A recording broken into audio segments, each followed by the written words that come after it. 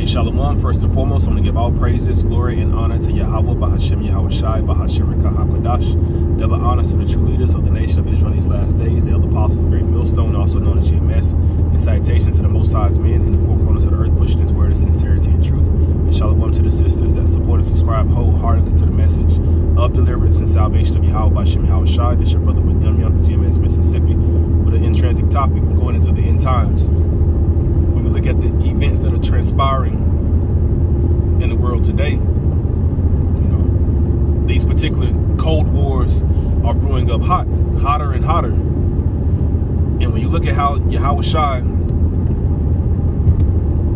appearing, his appearing is going to come as a thief in the night. You know, the world is not going to be expecting him, looking for him, nor waiting for him know, and as it is written, it is a fearful thing to fall into the hands of the living power. Because when you're caught off guard and you're caught lacking, you're gonna reap the, the reward and, and benefit of such activity. So if you're not watching, if you're not hasting, if you're not planning for things to get worse and understanding through the spirit that wisdom and knowledge is going to be the stability in those particular times, then it's going to be very detrimental to you and to you and your loved ones, you know, because you're not walking as the wise, you know, you're walking as the the imprudent. You're walking foolishly. You know, and then the scripture goes into the the 10 virgins, how five of them were wise and five of them were foolish. You know, you have to to understand that you need oil in your lantern right now. You know, you can't walk around with an empty lantern and then expect some period down the road it's going to automatically fill itself or you're going to be able to go into the cellars and buy it just conveniently. You know, that's never how anything works in life. Most times when an, an event occurs, you need instant instant funds at that moment. You need instant actions at that moment. You need an, an instant solution at that moment. You know, you really don't have the time, and sometimes you don't even have the means to go out and make something happen to rectify that situation. These last days are going to be the exact same way. So you have to understand that staying ready in the cool of the day will have you ready readily prepared in the hot of the day. Meaning that when these terrible times come, and even the average Jake right now, you know, without the wisdom, knowledge, and understanding of the spirit, are saying, "Oh man, Israel's involved," talking about the land of uh, the, the, the the people, the Jewish people.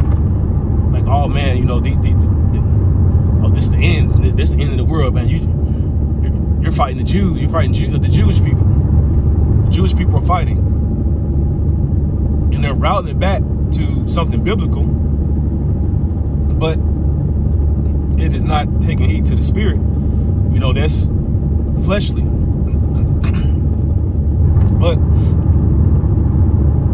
even now, you know, there's an earthquake, a three point, a three point something magnitude earthquake, 3.2 or 3.6 magnitude earthquake in Afghanistan.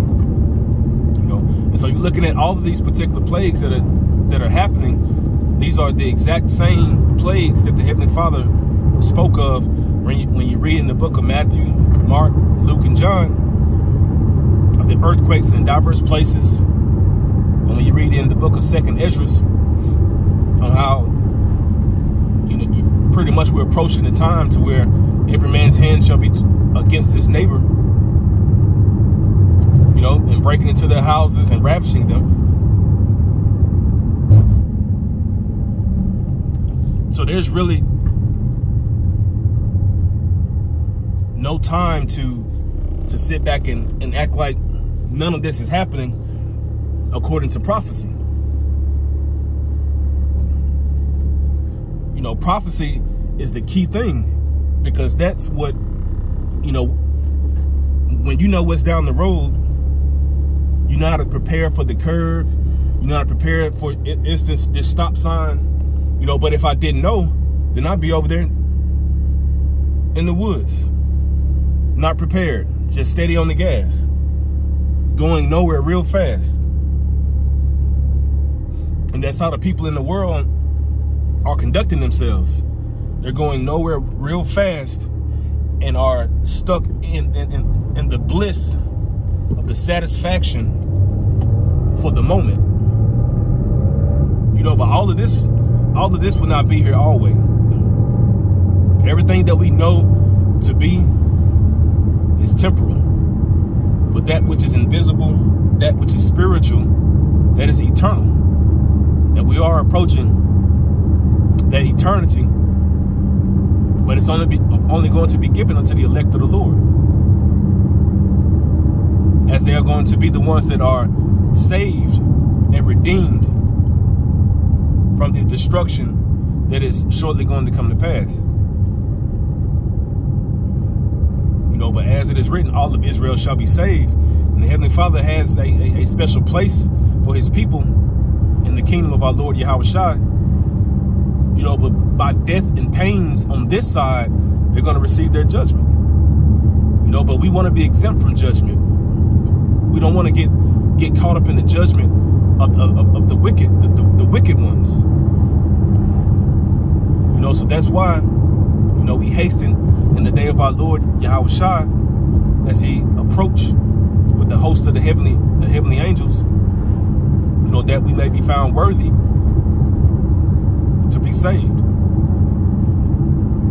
Because all of us are, are, are worthy of death. But through faith and grace and mercy, you know, we pray that the Most High will, will be just that, merciful and gracious towards us.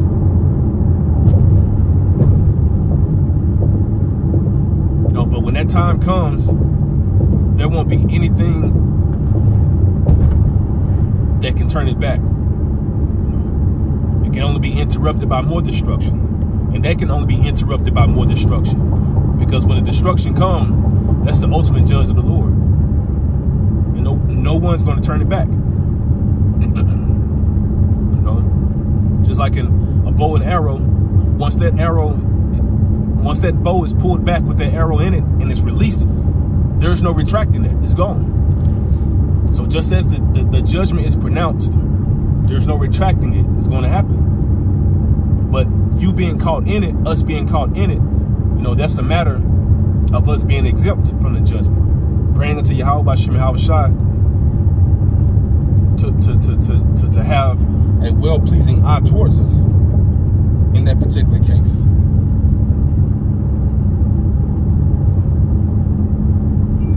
No, but as a, the Heavenly Father sends his only begotten Son as a thief in the night,